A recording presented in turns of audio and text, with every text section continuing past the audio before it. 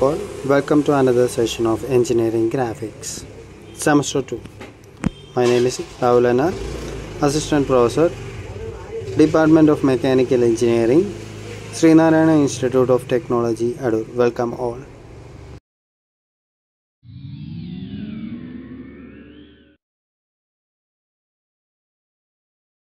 Hello students, uh, we are going to deal with the revision classes of Module 5 uh, we are going to study the important topics from perspective projections uh, basic concepts and all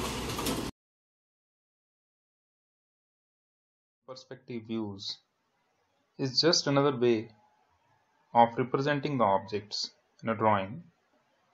Uh, it is most commonly used as a creative art in architectural drawings or in technical sketching, but it is uh, very rarely used in technical drawing.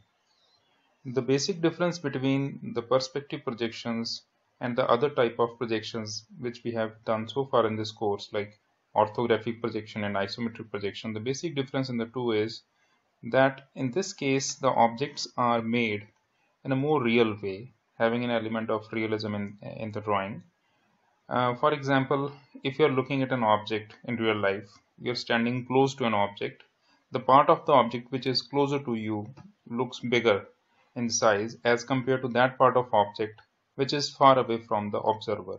So that part of the object which is away from you appears smaller in size, relatively smaller in size, whereas the part of the object which is closer to the observer that appears relatively bigger. So that kind of a realism uh, element is introduced in the perspective projection and these kind of uh, projections are primarily used for making architectural drawings and technical sketches. Now this slide shows a typical example of perspective projections. This, this slide shows a picture of a uh, railway bogie.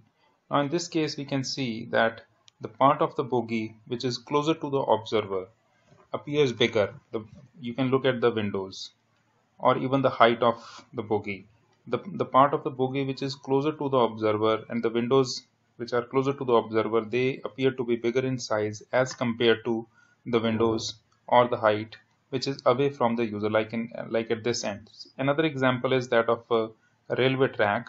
If you're standing somewhere here in uh, on the railway track the width between the two tracks is relatively large. But if you look at the same track at uh, some at some distance then you can see that the distance between the two tracks is is reducing gradually and finally at, at one point you will see that the two tracks will ultimately merge with one another and that point at which the two tracks appear to merge that point is called the vanishing point. This slide shows typical difference between a parallel projection and a perspective projection. Now in this case we can see that all the three directions the width the height and the depth the edges along all these three different directions of an object they are they are parallel to each other. So the lines uh, representing these edges are parallel to each other. Whereas in case of perspective projection uh, however you can see in this case the horizontal lines the the width lines and the height lines they are parallel to each other.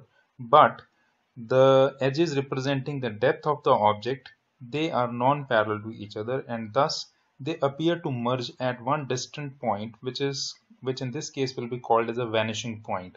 So in this case the object is presented in such a way that out of three directions one direction edges they are appearing to merge at one point so this is called as one point perspective projection system later we will also see different examples where you will see that even the edges along the width direction that is horizontal direction they are also not parallel to each other.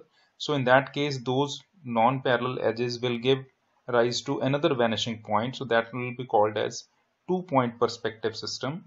And later you will see another case in which even the vertical edges in case of a perspective projection are non-parallel to each other. So that will give you three point perspective projection system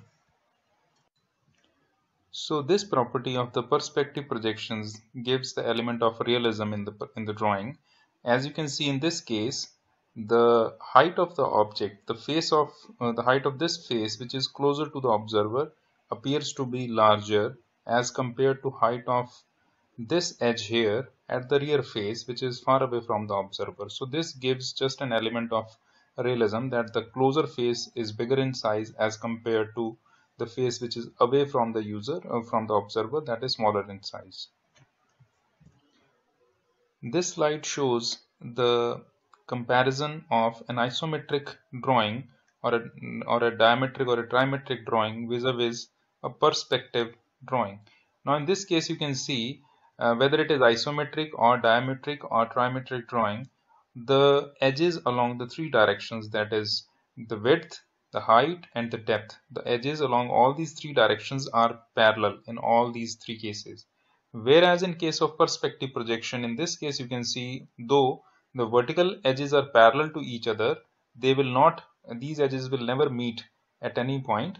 But the edges along say the depth direction the edges along the width direction they are non-parallel. And when projected these edges will meet somewhere on this side at this point which is called as RVP that is the right vanishing point and these edges when extended will meet at this point which is called as the LVP that is the left vanishing point.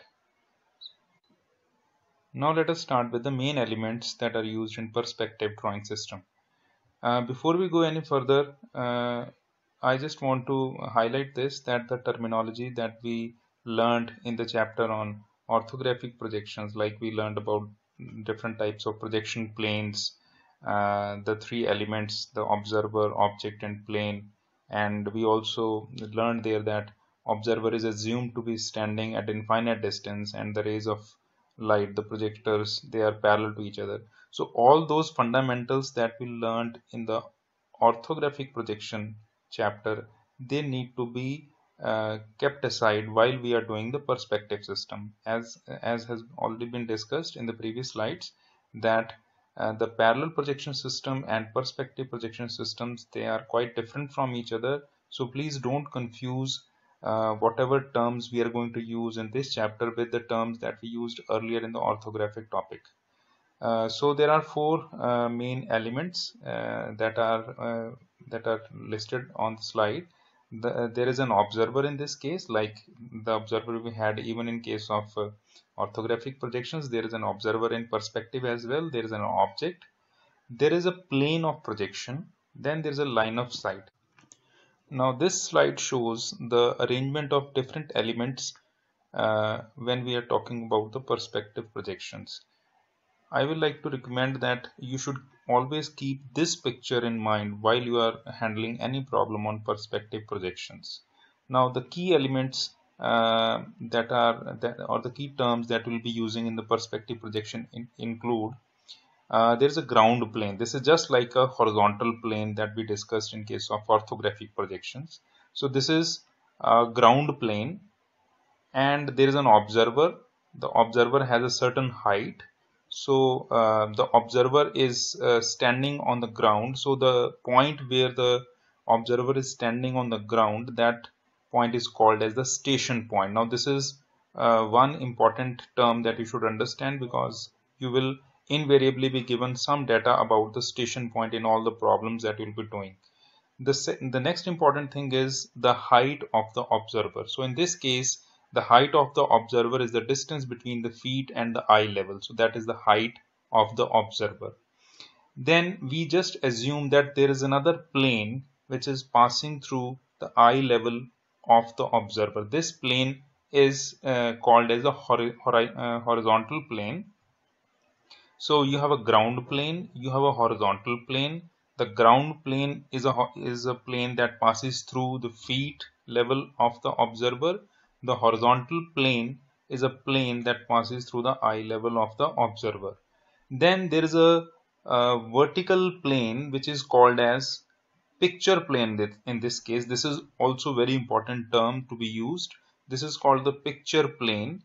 Now this plane is a vertical plane and this vertical plane actually meets the two horizontal planes that is the ground plane as well as the horizontal plane the line of intersection of this vertical plane with the ground is called the ground line. Similarly, the line of intersection of picture plane, the vertical plane with the horizontal plane is called the horizon. So these are the important terms that one should keep in mind.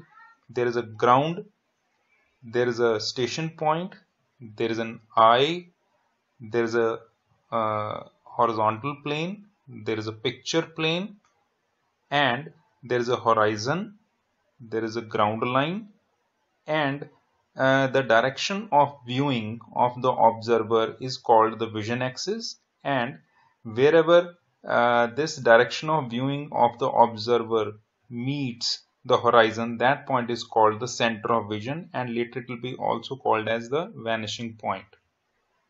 So these are the important terms and please try to remember this picture this figure always in your mind always relate this figure with the given data whenever you are solving any problem on perspective uh, uh, drawing another important thing is unlike orthographic projection system, the observer will always be standing at a finite distance from the picture plane.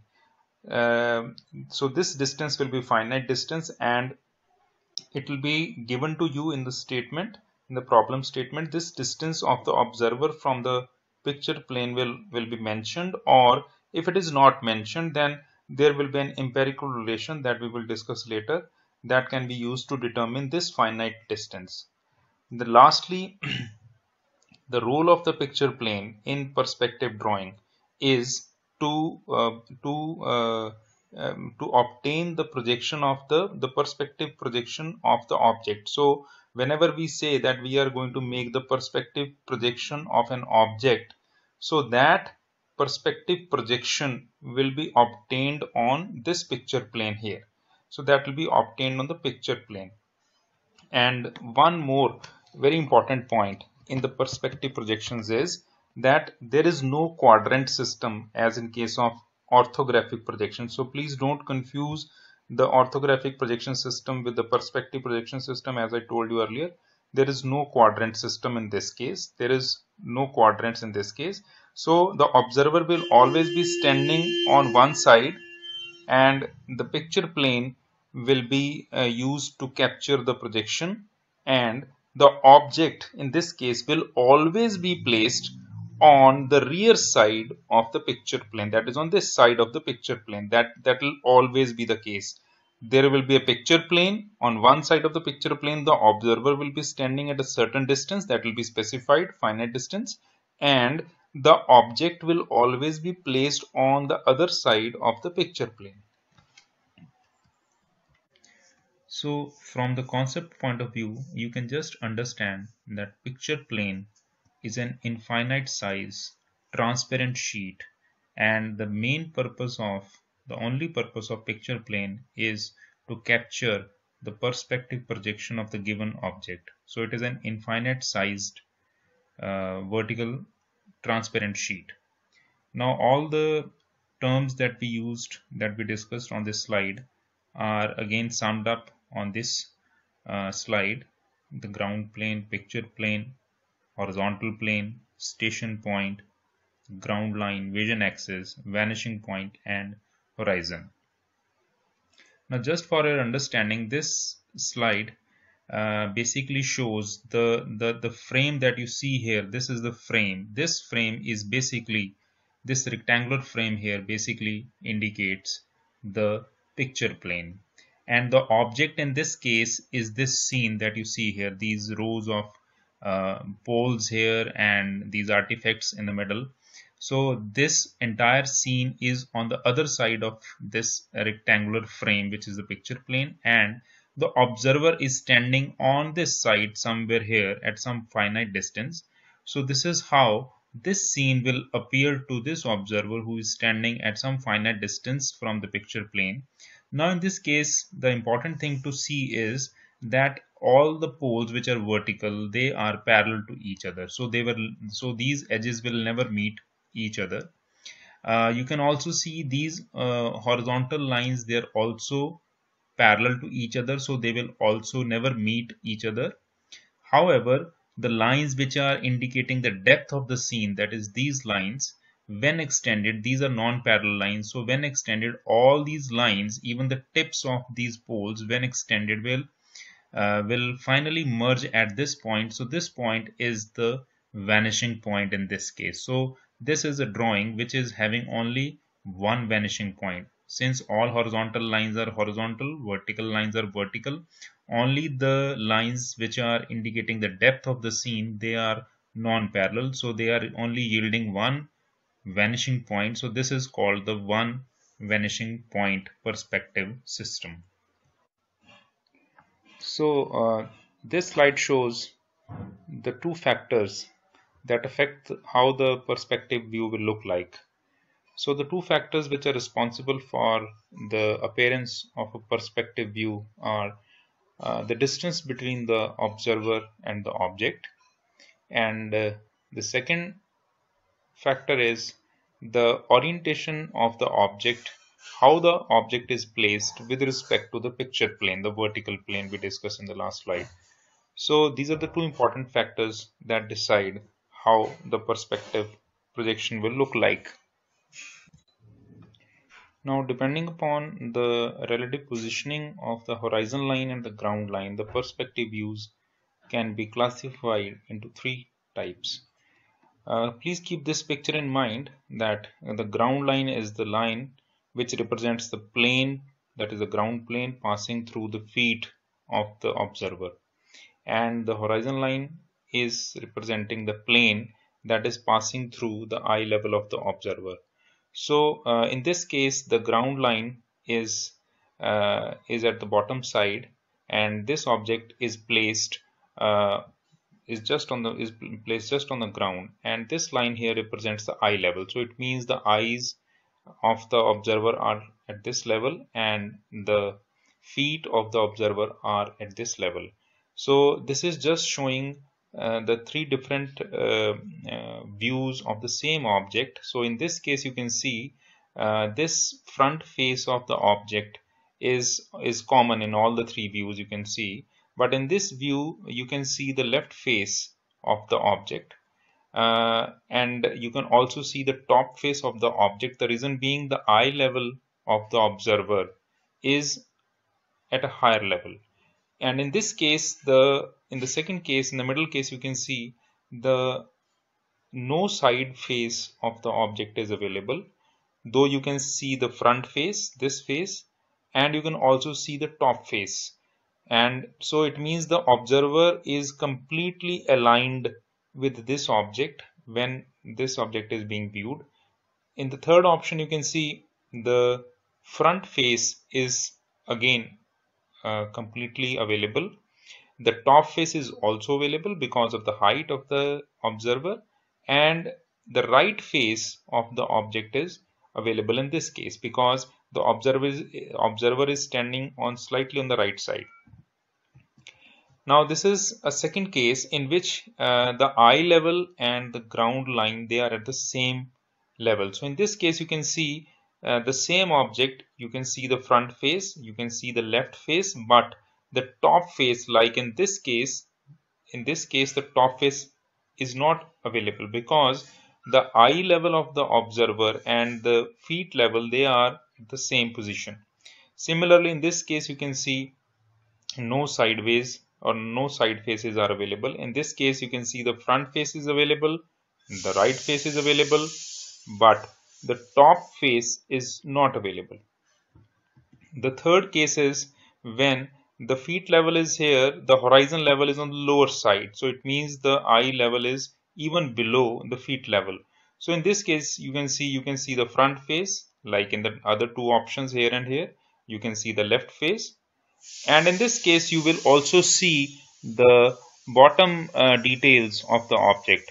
In this case, again, you can see the front face the bottom faces no left or right faces. Whereas in this case you can see the front face you can see the right face you can again see the bottom details. So in this case you can't see the top face you can see the bottom faces. In this case you can't see the bottom or the top in this case you will only only be able to see the top face no bottom details so uh, this type of perspective view is called the aerial view when the eye level is at a higher position as compared to the ground level. Uh, this is called the normal view and this is called the worm's view. So in this case the eye level is at a lower level as compared to the ground line.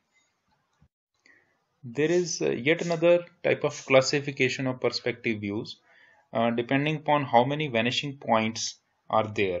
So depending upon the vanishing points, there can be three uh, different types of perspective views. The one point perspective, the two point perspective, and the three point perspective or the oblique projection views.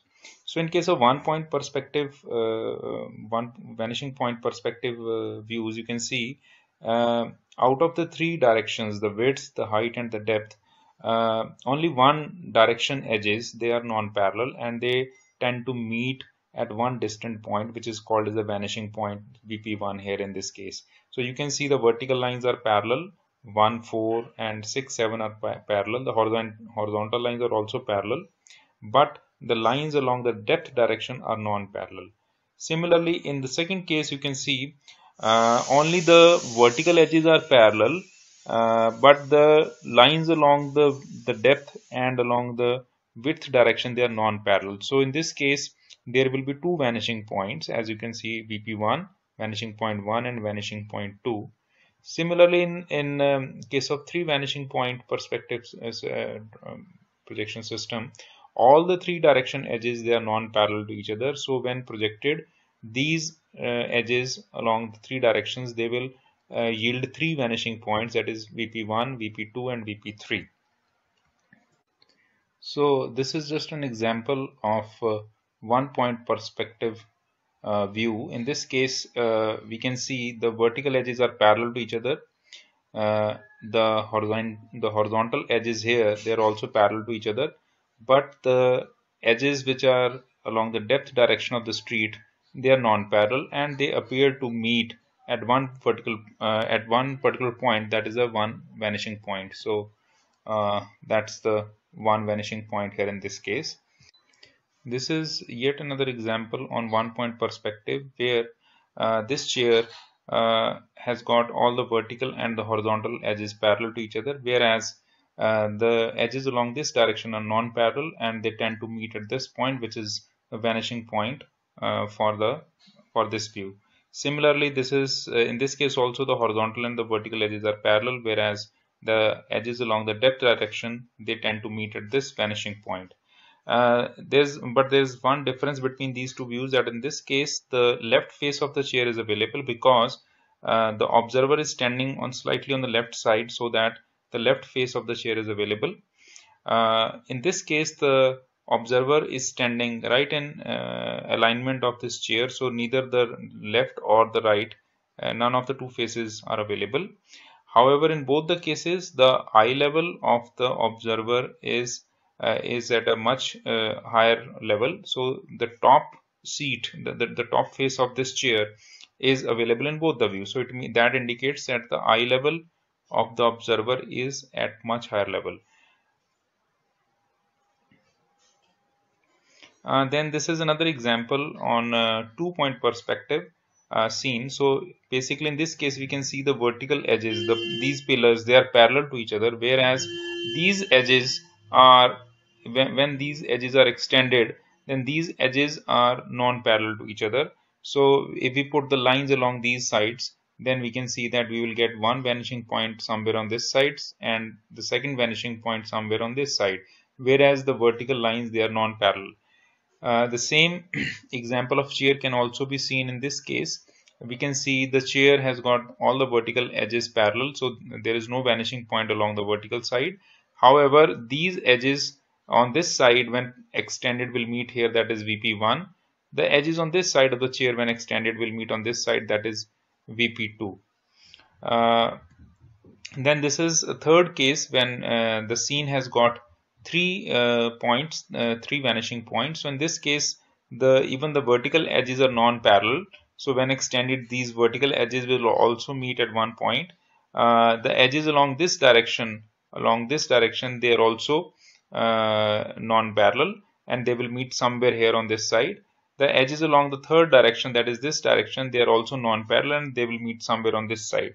So when we put these lines on top of this scene then we can see uh, the the extended lines will will yield one vanishing point on this side one vanishing point on this side and there will be one vanishing point on this side also.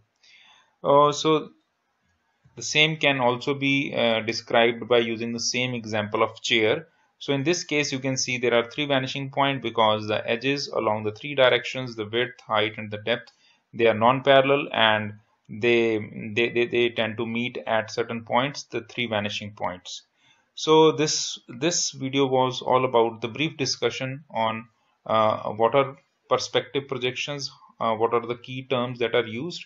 Now we will have a look at uh, two examples uh, wherein we will be making use of AutoCAD to make the one point and two point perspective projections for simple objects. Thank you for watching the video